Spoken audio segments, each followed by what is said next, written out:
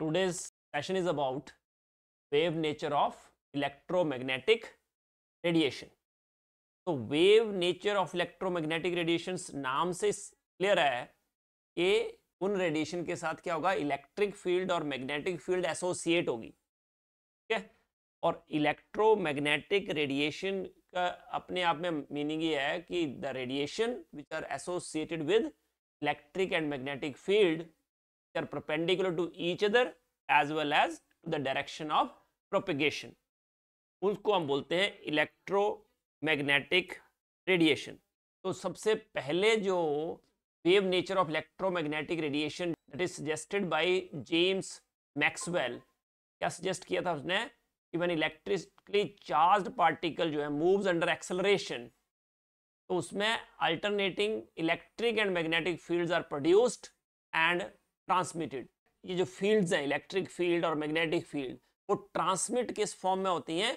In the form of wave और उनको हम बोलते हैं इलेक्ट्रोमैग्नेटिक वेव और electromagnetic radiation electric and magnetic field आपस में क्या होती है? म्यूचुअली परपेंडिकुलर और जो प्रोपोगेशन की डायरेक्शन है, उससे भी दोनों परपेंडिकुलर होते हैं। तो जो जेम्स मैक्सवेल होता है was the first person to reveal that light wave जो हैं they are associated with oscillating electric and magnetic characters और ये जो इलेक्ट्रिक और मैग्नेटिक फ़ील्ड प्रोड्यूस होती हैं by these particles oscillating charge particles they are perpendicular to each other as well as to the direction of propagation जो wave की propagate करती है वेव उस डायरेक्शन से भी they are also perpendicular but जो साउंड वेव्स होती हैं वाटर वेव्स होती हैं, उससे ये इलेक्ट्रोमैग्नेटिक वेव जो हैं, वो अलग होती हैं, क्योंकि they do not require any medium मतलब वैक्यूम में भी मूव कर सकती हैं. But you know sound waves हैं या वाटर वेव्स हैं दे नीड मटेरियल वाटर चाहिए तभी तो वाटर वेव बनेगी. और साउंड कैसे मूव करती है, उसके लिए भी मटेरियल पार्टिकल चाहिए. बट इलेक्ट्रोमैग्नेटिक वेव्स जो हैं they do not require any medium they can move in vacuum तो अब इलेक्ट्रोमैग्नेटिक स्पेक्ट्रा की बात करते हैं।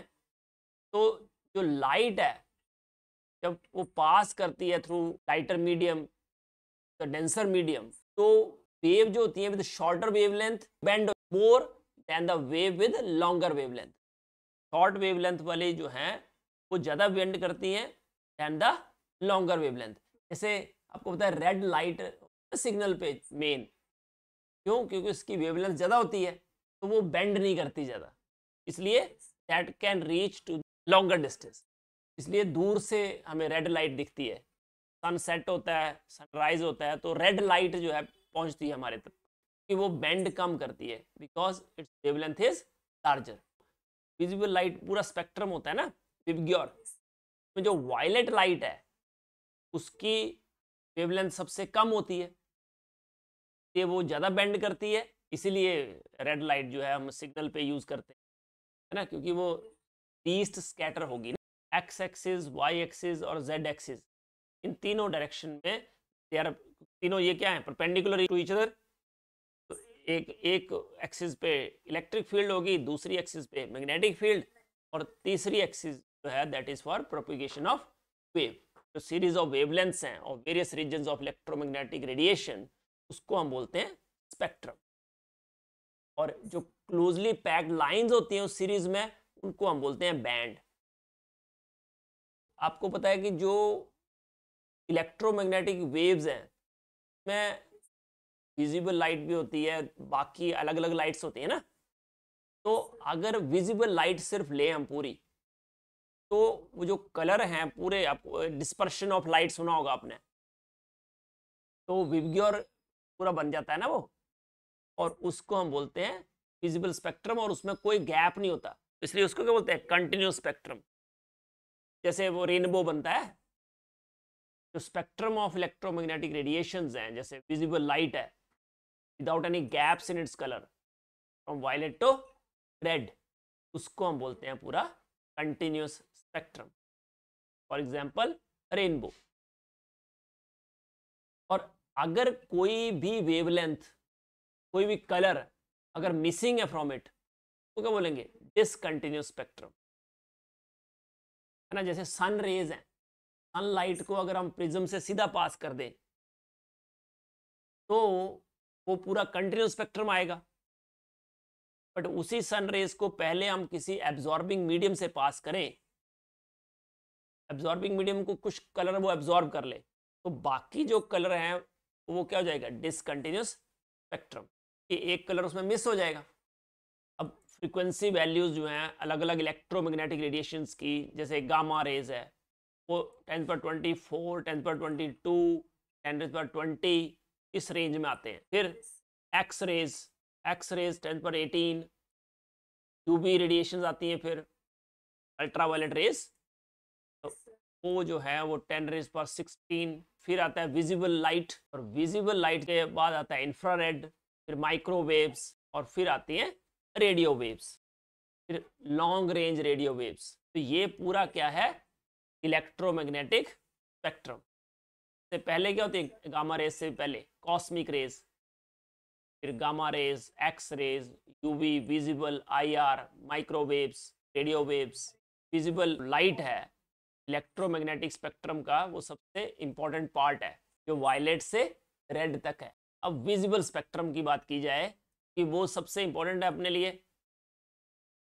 तो ये पूरा विजिबल स्पेक्ट्रम है। देखो वायलेट का वेवलेंथ सबसे कम होगा और रेड का वेवलेंथ सबसे ज़्यादा। और वेवलेंथ ये नैनोमीटर में दी हुई है आपको। Now measurable characteristics of electromagnetic radiation frequency है। तो फ्रीक्वेंसी क्या होती है? नंबर ऑफ़ वाइब्रेशंस और oscillation made by a wave in one second इतनी वाइब्रेशंस ऑक्सीलेशन जो है, वो एक सेकेंड में बनाता है कोई वेव ठीक है? और यूनिट जो है फ्रीक्वेंसी की that is cycles per second और हर्ट्स वन हर्ट्स क्या होता है? वन साइकिल पर सेकेंड और वेवलेंथ जो है that is related to frequency और frequency is equal to C over lambda और न्यू जो है उसको बोलते हैं फ्रिक्वेंसी लैम्डा इज़ वेवलेंथ और सी क्या होती है? Speed of light velocity of light और फ्रीक्वेंसी जो है it is also equal to one upon time और फ्रीक्वेंसी जो है यूवी रेडिएशन की, वो कितनी होती है? टेन रेज पर sixteen hertz now wave number तो वेव नंबर क्या होता है? Number of waves per unit length. Number of waves present in unit length, that is called wave number. और वेव नंबर जो है that is equal to one upon lambda wave number का unit होता है पर सेंटीमीटर और पर metre और वेव नंबर जो है that is the reciprocal of wavelength now wavelength जो है is actually the distance between any two successive crests or crests.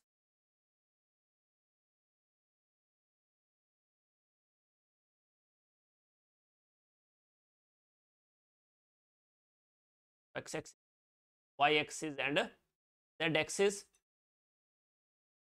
और ये वेव आ गई। ये क्या है? अपर पार्ट जो होता है height of the wave is crest और डेप्थ ऑफ़ द वेव है दैट इज़ रफ ये जो डिस्टेंस है between two successive crest that is called wavelength और distance between two successive trough और trough that is called wavelength और wavelength को अगर मेजर करें हम that is measure in angstrom metre centimetre one angstrom is ten raise पर minus ten metre और ten raise पर माइनस एट सेंटीमीटर वैसे ही नैनोमीटर की बात करें तो one nanometre is ten raise पर माइनस नाइन मीटर और टेन रेज पर माइनस सेवन सेंटीमीटर पिकोमीटर की बात करें तो one picometre is ten raise पर माइनस ट्वेल्व मीटर और टेन रेज पर minus ten centimetre one nanometre जो है that is ten angstrom equal to one thousand picometre one angstrom है that is equal to hundred picometre ऐसे one micron is ten raise पर minus six meter milli micron ये जो नीचे ना milli micron तो टेन रेज पर minus nine milli means ten raise पर माइनस थ्री और माइक्रोन मीन्स टेन रेज पर माइनस सिक्स माइनस थ्री और माइनस सिक्स कितना हो गया? टेन रेज पर माइनस नाइन तो what is the value of 300 nanometer in terms of angstrom one nanometer is ten raise पर minus nine metre ठीक है? और one angstrom is ten raise पर minus ten just right three hundred nanometer equal to three hundred into ten raise पर minus nine meter now if you have ten raise पर minus ten meter that is one angstrom you know one nanometer is ten angstrom because one nanometer is ten raise पर minus nine metre तो 10 into 10 raised to power minus 10 meter, 10 angstrom, 300 nanometer is 300 into 10 by 1